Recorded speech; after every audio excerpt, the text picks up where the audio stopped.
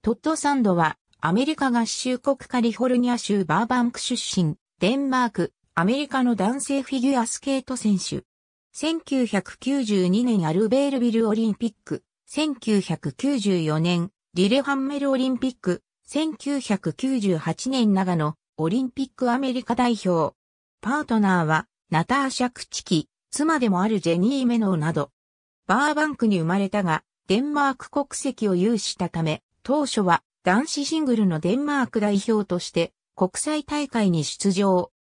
1982年と1983年、欧州選手権では共に19位、1981年世界選手権では19位、1982年世界選手権では22位だった。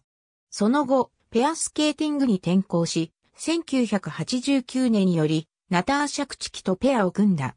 1991年の全米選手権で優勝し、世界選手権では3位となった。翌1991から1992年シーズン、アルベルビルオリンピックに出場し6位となる。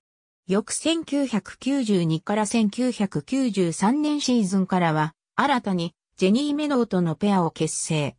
1994年には全米選手権で優勝、リレハンメルオリンピックで5位入賞を果たす。1995年、世界選手権で3位となる。この年にパートナーのメノと結婚。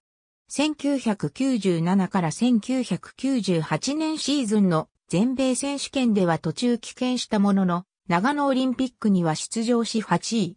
直後の世界選手権では2位となり、同シーズンをもって競技引退した。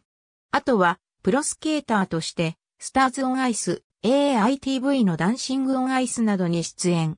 コーチとしても活動している。ありがとうございます。